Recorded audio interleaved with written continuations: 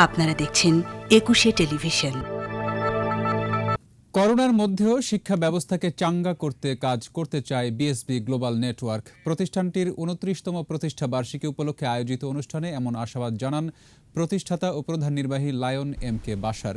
বিকেলে রাজধানীর গুলশানের নিজ কার্যালয়ে প্রতিষ্ঠা বার্ষিকীর কেক কাটা হয়। এ সময় তিনি বলেন, গত আটাশ বছর নিরলসভাবে শিক্ষার জন্য কাজ করে মানুষের বিশ্বস্ততা অর্জন করেছে বিএসবি।